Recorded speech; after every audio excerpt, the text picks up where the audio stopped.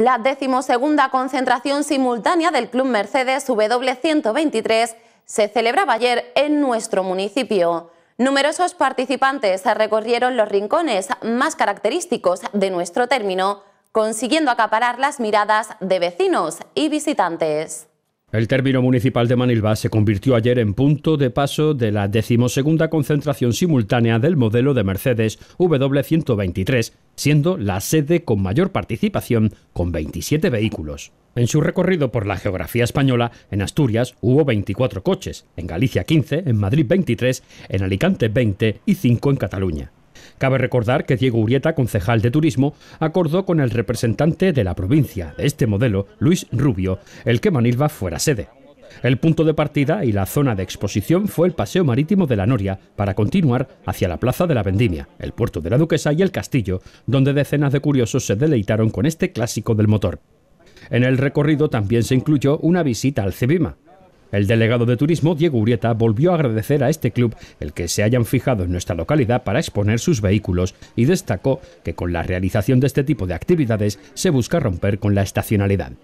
En torno a un centenar de personas de toda la geografía andaluza visitan nuestro municipio hoy y van a conocer en primera persona nuestros encantos. Eso significa que van a estar consumiendo en Manilva, que van a estar aportando riqueza y sobre todo que en los dos últimos meses hemos estado patrocinado y también con cobertura en las principales webs y en distintos foros de toda la geografía nacional, con lo cual el nombre de Manilva ha sonado fuerte y ha sonado bien. En definitiva, seguimos trabajando para mejorar Manilva, agradecemos tanto en nombre del alcalde como en nombre propio de, como delegado de turismo la presencia de todas estas personas, la confianza en que han tenido nuestro municipio y esperamos y deseamos que para años posteriores podamos ser quizás lo que es la sede nacional de esta concentración del modelo W123. El alcalde de Manilva, Mario Jiménez, señalaba la relevancia de ofrecer a vecinos y visitantes este tipo de actividades y señalaba que desde el equipo de gobierno se va a seguir trabajando en alternativas de ocio que permitan que nuestro municipio sea visitado a lo largo del año. Cumplimos un doble objetivo con esta visita, con esta concentración de Mercedes clásicos aquí en nuestro municipio, es dar un atractivo a, los residentes de Manilva y como nos da a conocer nuestro municipio y en este caso la Delegación de Turismo pone en marcha esta